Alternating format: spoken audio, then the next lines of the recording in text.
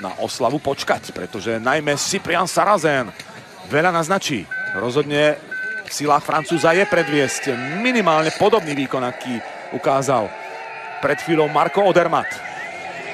Sarazán má úžasnú formu, sebavedomie, motiváciu. Po včerajšom víťazstve optimálna dĺžka skoku na Mauzefa, ale podobne, alebo presne rovnako ako v prípade Marka Odermata. Identický aj ten medzičas po Mauzefa, ale karuzel bude extrémne dôležitý. A Sarazán ho zvláda výborne. Krásne sa dostáva na Steilhang. Dobrej línii, dobrej vysokej stope a preto má 64 stotín sekundy k dobru. To je paráda, čo ponúka Cyprian Sarazán. Už môžeme bez problémov povedať, že Francúzi konečne našli nástupcu Lika Alfanda a to plnohodnotného nástupcu.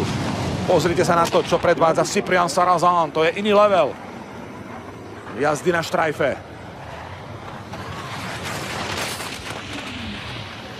Práve Luc Alfand je posledný francúzom, ktorý získal malý kryštáľový globus za celkové víťazstvo v jazde. No a v tejto sezóne Sarazán robí všetko preto, aby opäť Francúzsku prinavrátil túto pozíciu. Cyprian Sarazán neurobil žiadnu chybu, ide famózne s obrovskou dávkou rizika.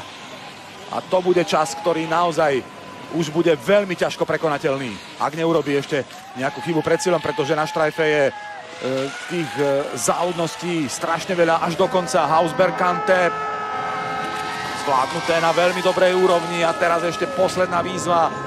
Travers na Hausbergu s terénnymi vlnami, kompresiami. Všetko zvláda Sarazán fantasticky a bude jasne na čele. Francúzsko má obrovskú mega hviezdu rýchlostných disciplín a to asi pred začiatkom tejto sezóny nikto nečakal. Takmer sekundový náskok pred Odermatom. Myslím si, že vidíme víťaza. Toto sa bude extrémne ťažko prekonávať, ak sa to vôbec dá, pretože to bola jazda blížiaca sa k dokonalosti.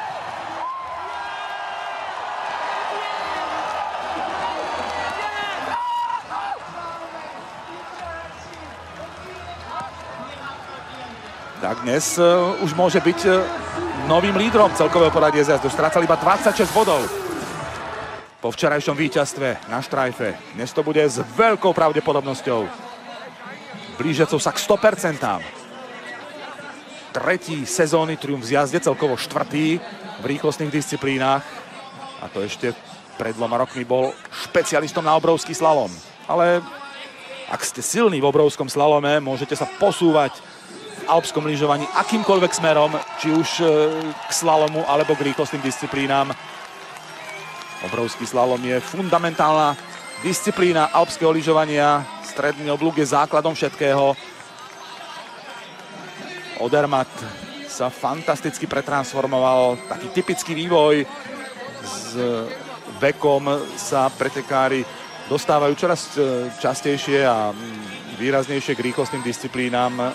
Sarazan nie je výnimkou, ale, výnimkou, ale ten jeho prerod na zjazdára je úžasný.